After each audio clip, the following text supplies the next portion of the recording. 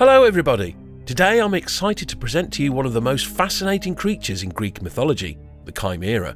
This legendary monster has been the subject of countless stories, art, and popular culture for centuries. In this video, we will explore the history and mythology surrounding the Chimera, as well as its various depictions in art and literature. So, join me on this journey as we delve into the world of the Chimera and discover what makes this creature so captivating. The Chimera was a terrifying creature from Greek mythology that could breathe fire and was a combination of three animals that formed a single beast. The main body of the beast was that of a lioness, possessing her speed and strength. It also had a goat's head in the middle of its back and a serpent's tail with a snake's head at the end. Not only did the Chimera look terrifying and hideous, but in Greek mythology it was considered a dangerous enemy in battle.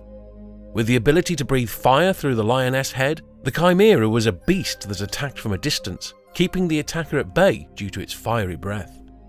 The intense heat generated by the Spitfire was so great that it could melt the armour and weapons of the fighters.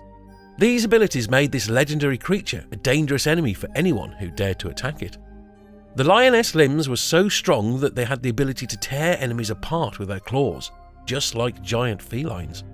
The Chimera had exceptional speed, running faster than any human, to be able to escape from it, or catch up to it, the hero had to ride a horse that was faster than a lion. The Chimera's serpent tail was designed to inject a highly poisonous venom that paralysed enemies before they were torn apart. Any creature in battle with the Chimera had to be aware of these three abilities of the monster, and to be alert at all times during the battle. In Greek mythology, it is said that the Chimera was born from the fires of the Chimera mountain in ancient Lycia, south of Turkey. The story says on Mount Chimera, where the flames are spewed, it is said that the Chimera was born. Greek mythology tells us that the Chimera was actually female, though at first glance, the mane around her head would be of a lion. The fact that it is a female emerges from the fact that its ears were not covered by the mane, as is the case with lions. Its name actually comes from its third head, the goat head. The Chimera was known as Chimera, which in Greek means goat. Legends tell us that the Chimera met its end when Bellerophon was asked by King Iobates of Lycia to get rid of the Chimera once and for all. Bellerophon was a Greek hero who appears in legends as a friend of Perseus and was considered a monster killer and had all the necessary abilities to fight the Chimera. He even rode a Pegasus, a mythical winged horse. He flew above the Chimera, avoiding its fiery breath. He then plunged a block of lead into the monster's mouth, suffocating it. Thank you for joining me on this journey through the fascinating world of the Chimera.